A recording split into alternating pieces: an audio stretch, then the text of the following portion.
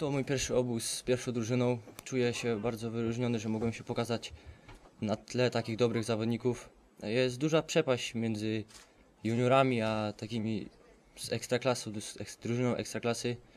Zawodnik z żywca wygłówkował piłkę, no i nie pozostało mi oddać strzał. No. Oddałem go ze słabszej nogi, no i piłka znalazła się w siatce.